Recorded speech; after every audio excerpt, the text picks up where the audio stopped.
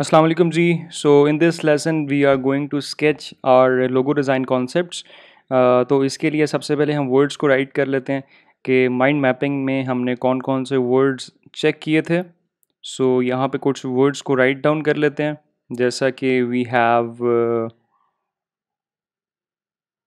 Leaf इसके अलावा water हमारे पास है। या हम यहाँ पे ड्रॉप्स को लिख सकते हैं। ठीक है। इसके अलावा हमारे पास एक क्राउन था। और वी हैव हार्ट हमारे पास है, ठीक है। तो हम इन सारे वर्ड्स को यूज़ करते हुए कुछ स्केचिंग करेंगे। एक हमारे पास एक और लिख लेते हैं फ्लो को। तो रिप्रेजेंटेशन हमने इन कीवर्ड्स की देनी है, ठीक है। तो स्केचिंग स्टार्ट करने से पहले मैं इसकी ओपेसिटी यहाँ से कम कर लेता हूँ या इसको यहाँ से ग्रे कर लेते हैं।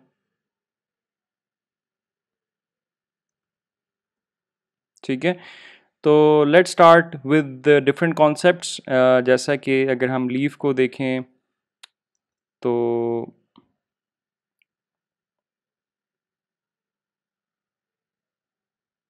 अब कोशिश ये भी होगी कि मैं करेक्टर वी को किसी तरह से रिप्रेजेंट करूँ अपने इन स्केच के स्केचेस के अंदर। ठीक है तो एक और स्केच करते हैं वी सिंबल के साथ। Right right? तो मैं यहाँ पे डिफरेंट स्केच प्लेस करता हूँ।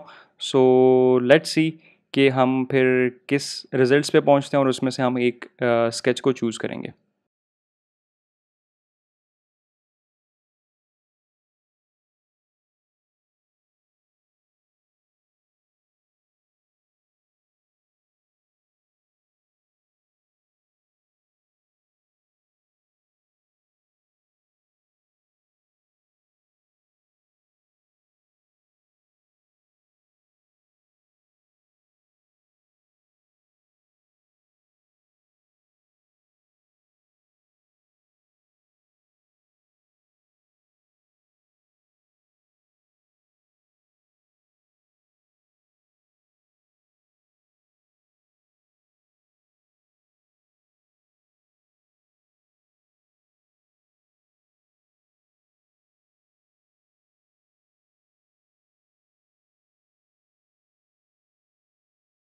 अच्छा जी, मैंने यहाँ पे कुछ स्केचेस क्रिएट किए हैं। इसके बाद जो हमें यहाँ पे कुछ बेहतर लग रहे हैं, उसको थोड़ा सा पॉइंट आउट कर लेते हैं।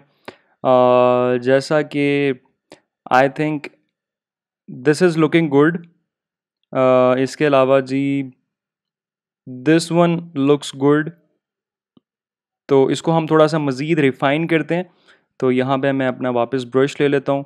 पेंसिल को थोड़ा सा डार्क कर लेता हूँ और यहाँ पे जो अपने स्ट्रोक्स हैं उनको मज़ीद थोड़ा सा बेहतर करते हैं ठीक है?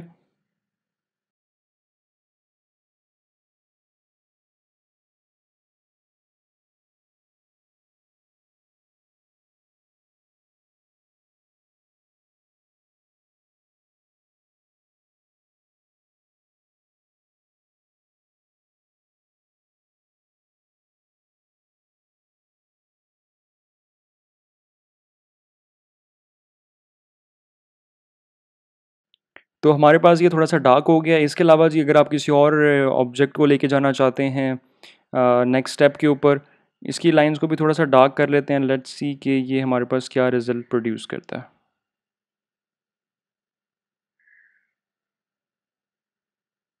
ठीक है तो उसकी जो एक्चुअल शेप है वो आपको नज़र आना शुरू हो जाएगी कि word kind of a logo it is going to be तो let's give it a try इसको हम इलस्ट्रेटर में लेके जाते हैं और वहाँ जाके इसको वेक्टराइज करके देखते हैं कि कि लोगो किस तरह का बन के हमारे सामने आता है। तो यहाँ पे आपको मुख्तलिफ़ चीज़ें नज़र आएँगी। आपको यहाँ पे लीफ भी नज़र आ रहे हैं और आपको यहाँ पे वी जो इनिशियल है वो भी इस लोगो के अंदर नज़र आ रहा है। इसके अलावा इसमें आप मज़ीद और भी कॉन्सेप्ट ऐड कर सकते हैं but we will go with this one so See you in the next lesson.